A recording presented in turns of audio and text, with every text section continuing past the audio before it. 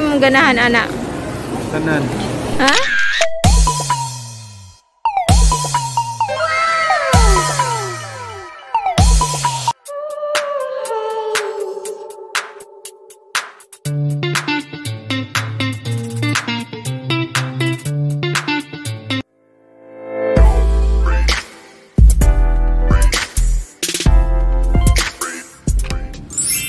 Hi guys! Welcome to my channel. Today pala is naka-community quarantine na dito sa Cebu and pupunta kami ng SM. A few moments later. Now, nakarating na kami sa tapat ng SM and tatawid na lang kami. Meron pa ring mga sasakyan at mga taong nagpapasyal ngayon pero nakasuspend na po yung class kaya konti na lang yung mga estudyante na nakikita natin sa daan. And usually this time, marami ng mga tao. Pero ngayon, hindi na ganun karami. Nagpa 5pm na ngayong ang oras. And nag-aantay na lang kami para tatawid sa tamang tawidan at sa tamang oras. Sa antay tayo guys na mag-green yung walk dun sa picture ng tao or yung mag-go na tayo. Hindi tayo gagaya ng iba na nagtatawid ng daan na kahit hindi pa time kasi baka madisgrasya tayo. And usually pala yung mga tao now is naka-mask. Kunti na lang yung makikita natin nagpapasyal, hindi katulad ng regular days. And papasok na tayo sa loob ng SM guys. And as we can see, may mga safety precautions yung SM malls bago tayo papasok. So, nagpa-practice sila ng social distancing and nagbibigay sila ng alcohol at sine-check yung body temperature ng mga customers bago papasok sa loob ng mall. And now, it's my turn na naman na sine-check yung body temp. So, yan yung mga preventions or precautions na ginagawa ng SM Malls. Yung pinapakita ko sa inyo guys kung paano nila hinahandle yung mga customers pagpasok ng mall pa lang. And now, pupunta na, na naman kami sa video para ma-update na yung ATM ng asawa ko. May mga foreigner ako nakikita sa loob ng SM malls pero hindi na sila ganun kadami. Yan, sinusundan ko lang yung asawa ko kasi malapit lang dito sa entrance yung video. And bago din tayo papasok, nagbibigay din sila ng alcohol. Yung si Kuya Guard, nagsisay hi. so guys, ngayon naghahanap kami ng photocopier kasi kailangan namin i-photocopy yung ID niya, yung ATM, if may updates. Kaya yun, naghahanap kami. And dumaan kami dito sa may north wing banda ng SM. And wala na masyadong tao dito banda. Sobrang lamig dito banda guys. May gym area dito. Konti lang yung tao dito. Kadalasan sa mga oras na ganito maraming nag-uupo dyan. Ngayon wala na. And yung Slimmers World, walang nag-gym dyan sa loob. As in, wala talagang tao. First na pinuntahan namin is yung photo line para mag-photocopy kami. Nag-antay lang ako sa labas. Titingin-tingin ng camera.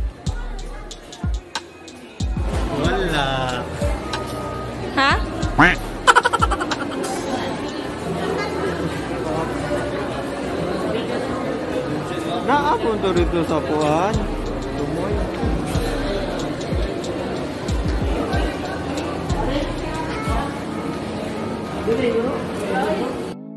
Yun guys, naghahanap na naman kami ng mapapotocopyhan ng ID niya tsaka yung ATM.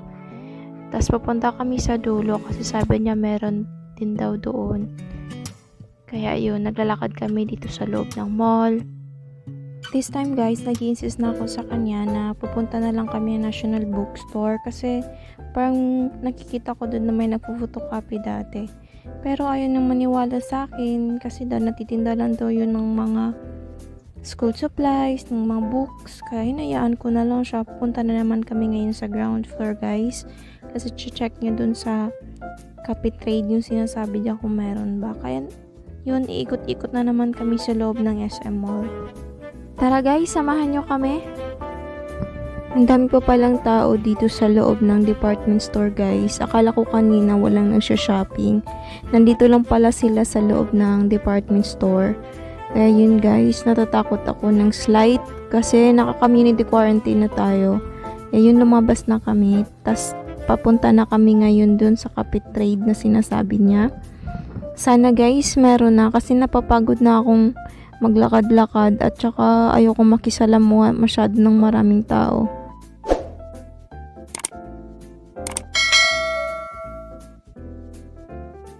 May mga pa-show sila dito banda sa ground floor and mga ano to mga motor. Gustong gusto to ng asawa ko. Tapos yan, may mga mascots pa sila.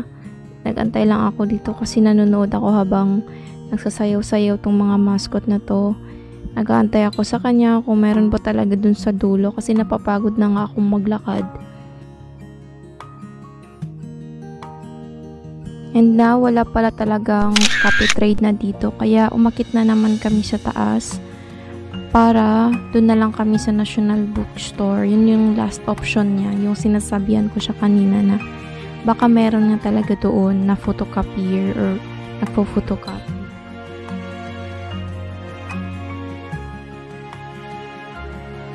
Finally, nakapag-photocopy na talaga kami dito sa National Bookstore kumuha ko ng konting video dito sa mga school supplies nila.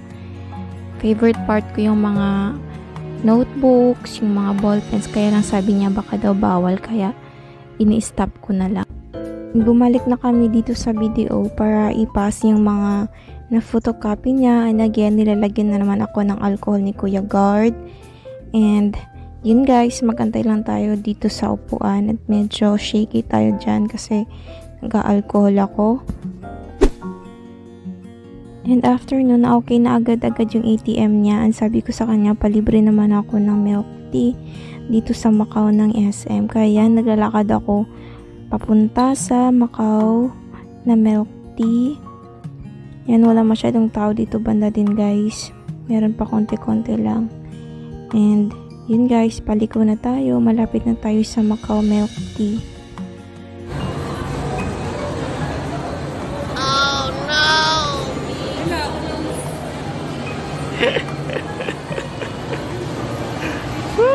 Kawawa.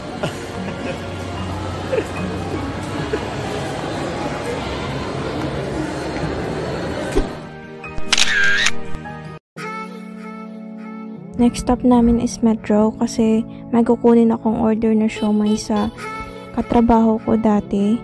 Yan, nakapila kami and sa Metro, kinukuhanan kanila ng body temperature din. Dumaan muna kami ng Panty Manila para makabili ng pandesal at yung sliced bread pang snack sa bahay kasi naubusan na kami ng pang snack. Kaya yan, nasa counter na ako at nagbabayad. At yung asawa ko yung nag-video sa akin. And yan, tapos na ako dyan sa Pandi Manila. Next, pupunta tayo sa grocery ng Metro para bibili ako ng shampoo.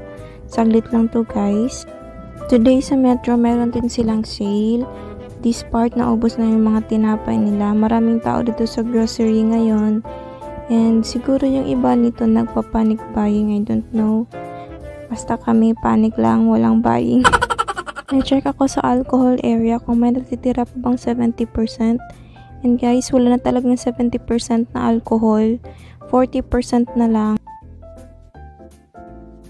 Dito guys, may nakasalubong akong dalawang CI guard at nag-check sila sa ilalim-ilalim ng mga shelf ba yun ang tawag. Kasi sabi nila may iba daw na nagtatago sila doon ng alcohol. Iwag naman natin gawin yung ganyan guys kasi yung pag-hoard ng mga alcohol o yung ano pa like mga mask kahit bitulan mga mask hindi naman yun nakaka-save sa atin kasi yung iba nangangailangan din naman, hindi lang tayo ang gustong maging safe sa NCOV-19 kaya i-share naman natin yan guys. Ngayon nakakuha na ako ng shampoo guys and magpapa-counter na tayo kasi marami pang taong nakapila. Kaya yun.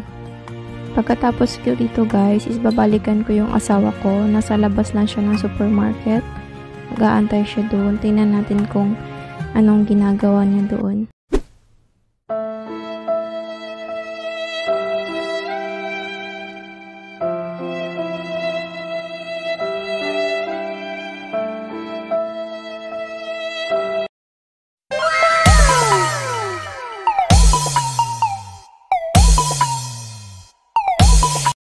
Ganahan, anak?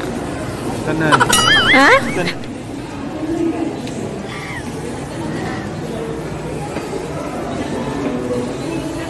Ganahan ko ito, o kana, o kana.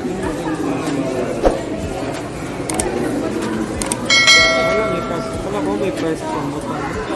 Wala sila yung obot. Pangutan na. Mapalit na ka? ha? Sana nimo? oh.